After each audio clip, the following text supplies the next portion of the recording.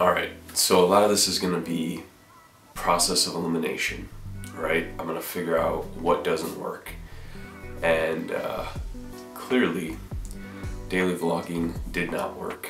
Um, I made it to day 10 and I realized with a full-time job, it's just taking up way too much of my time.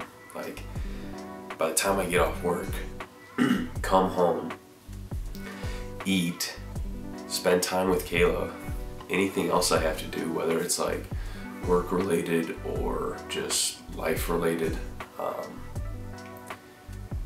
it just takes up so much time that when I finally get to editing videos and like uploading footage, I spent all Sunday just uploading files.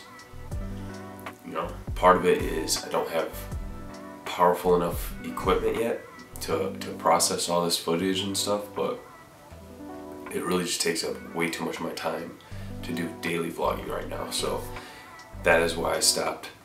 I'm sorry if I look rough right now. It's five in the morning and my allergies are going crazy, but it's just not, I learned what I shouldn't be doing right now.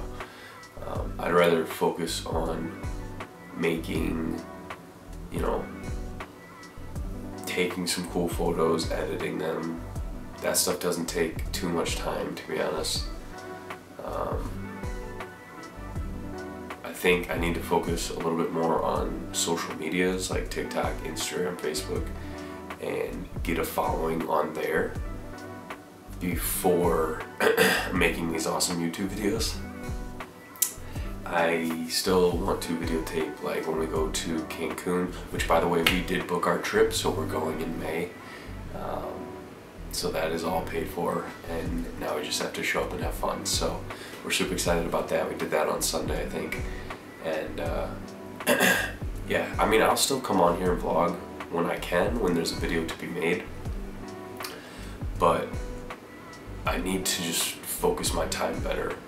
So um, I'm gonna do what I can to to blow up on social media. And then when I gain a following there um, I'll probably come back and do more YouTube style videos. So thank you guys for tuning in. I will still post on here uh, occasionally when we got big things going on.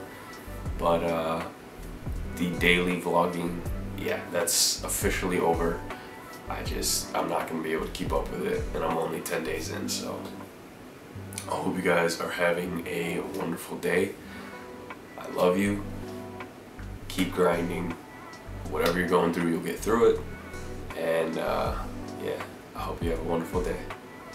Bye.